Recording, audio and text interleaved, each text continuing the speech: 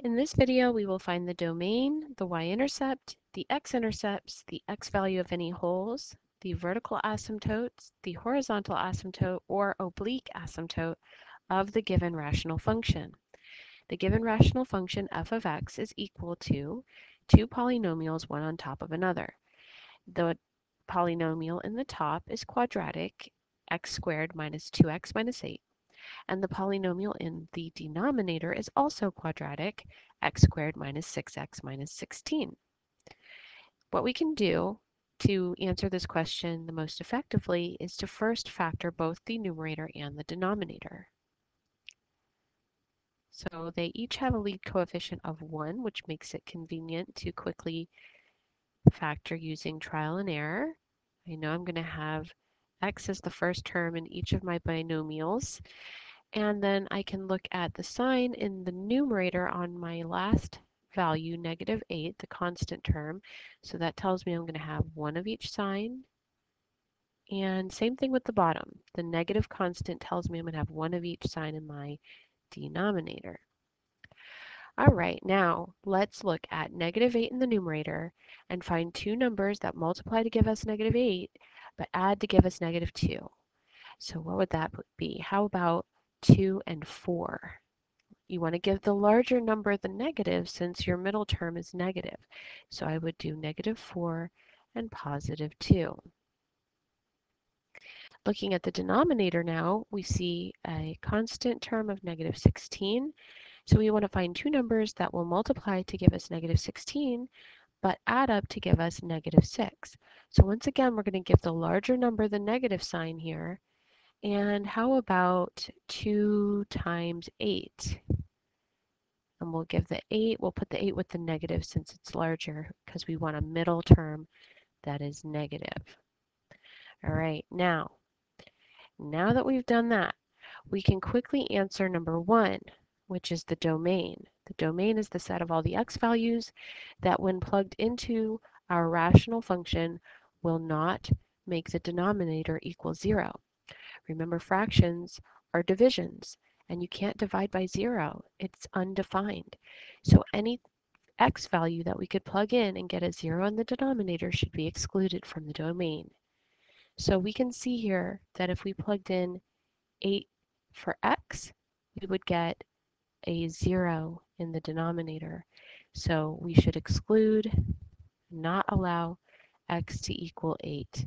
We should also not allow x to equal 2, or negative 2 rather. On a number line, let's say negative 2 is over here, and 8's over here, well, we want to avoid the negative 2 and the positive 8. So our domain in interval notation would start at negative infinity and go up to negative 2, union starting at negative 2 again on the other side, going up to 8, and then union 8 towards positive infinity. So that's the answer to our part 2 an our part 1 answer. That is our part 1 answer. That's what I'm trying to say. Okay, so let's write that here.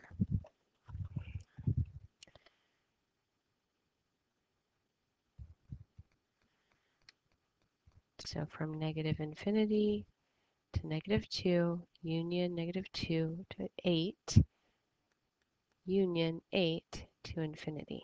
All right. Now, the next part, we want the y-intercepts. Now remember, a y-intercept is where the graph crosses the y-axis. On the y-axis, x is always 0. So we were looking for a point that has 0 for x.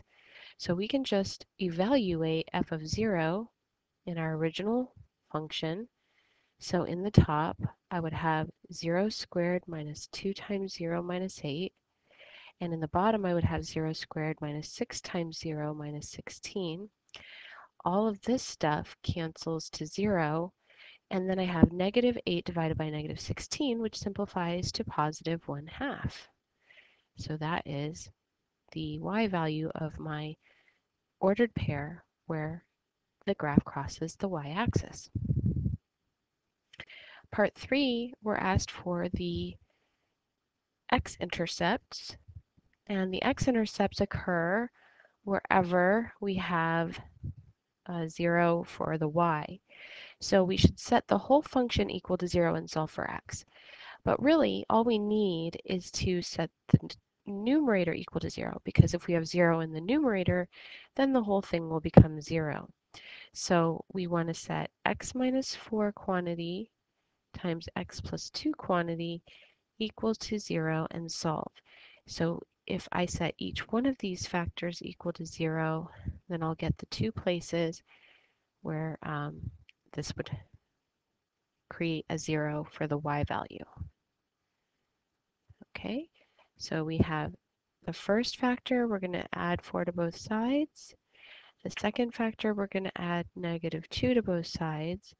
And so now we have two points where the y value will be 0 at negative 2 comma 0 and also at positive 4 comma 0.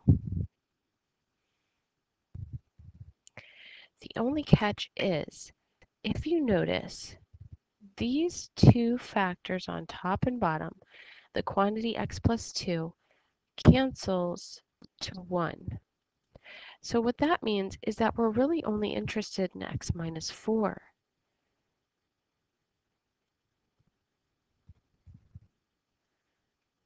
So we're going to have just the one x-intercept at 4 comma 0.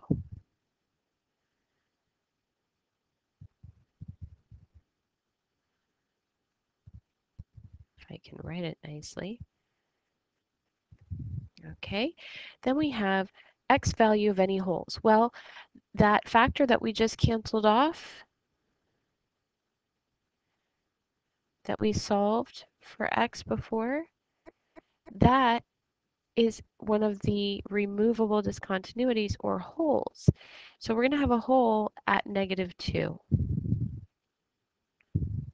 Okay, holes occur where both the numerator and the denominator would be 0 at the same time.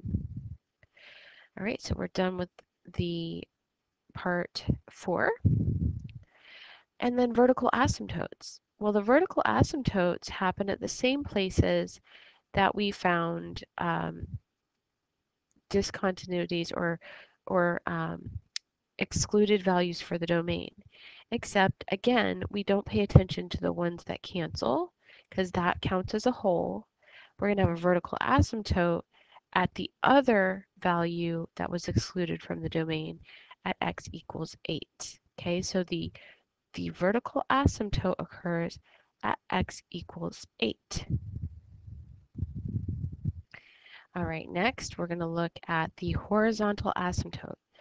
Okay, now what we do is we see if there is a horizontal asymptote. There's two cases where you can have a horizontal asymptote, and then one case where you could have an oblique or slanted asymptote. And you will only ever have one of the two. All right, so if we have the horizontal asymptote, then we know there is no oblique asymptote, and vice versa. Okay, so let's see, there's two cases where you could have a horizontal asymptote. One of them is if the numerator's degree is lower than denominator degree. Here we have the degrees the same, and that's the other case where you can have a horizontal asymptote. If the top was smaller in degree than the bottom, we would say that the horizontal asymptote was just the x-axis, or y equals 0. But here, we don't have that. We have the same degree on the top and the bottom polynomials. So that means we look at the coefficients of our lead terms and we make a fraction out of them and that will be the constant for our horizontal asymptote. So notice that the coefficient on my lead term in the numerator is 1 and the coefficient on my lead term in the denominator is 1. So 1 divided by 1 is just 1. So I have a horizontal asymptote at y equals 1. y equals 1. Okay? So that means there is no slanted or oblique asymptote. And we are done with all of these parts. This is what the graph would look like. And this is why we're really investigating so that we can graph the rational function. So notice that we have that vertical asymptote. Where did we say it was going to be? The vertical asymptote was going to be at x equals 8. So you can see here's 5, x equals 5, 6, 7, 8. And if I draw a vertical line through x equals 8, kind of hard to get it straight, but you can see that there is a little vertical asymptote there. And also we said that there would be a horizontal asymptote at y equals 1. And here's where y equals 1. So notice that there does appear to be a horizontal asymptote or an electric fence through y equals 1. We also should see a hole at um, x equals negative 2. So x equals negative 2 right here, there should be a hole.